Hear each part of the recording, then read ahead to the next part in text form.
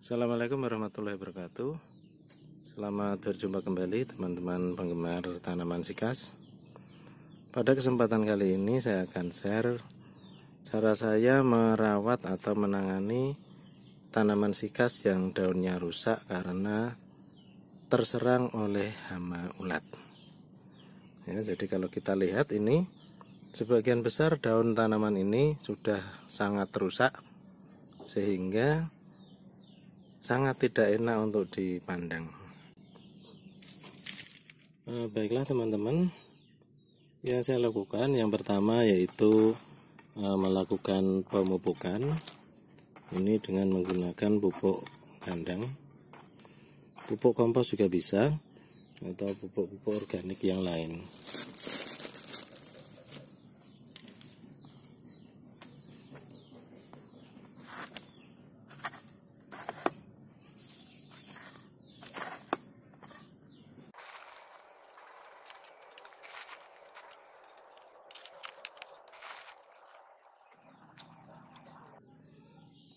Nah, yang kedua yaitu ini saya lakukan pemangkasan daun.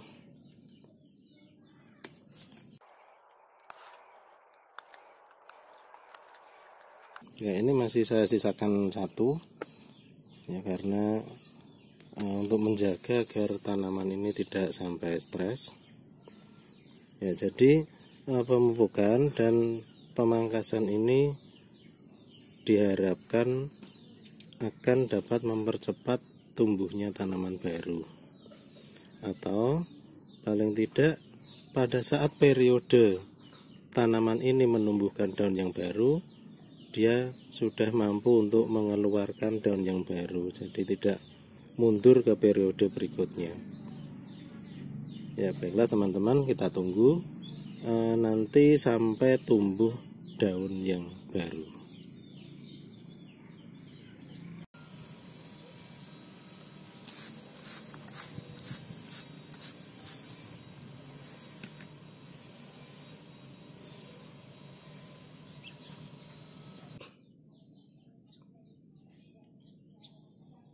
daunnya yang masih muda ini sudah mulai tampak agak bertambah panjang. Ini daun yang tersisa yang panjang ini saya potong.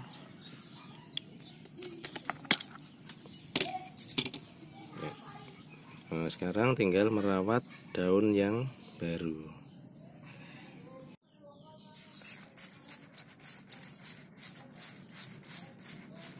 Nah, dilakukan penyemprotan dengan insektisida pemberantas ulat lima hari sekali dan kalau terkena hujan bisa disemprot ulang setelah terjadi hujan.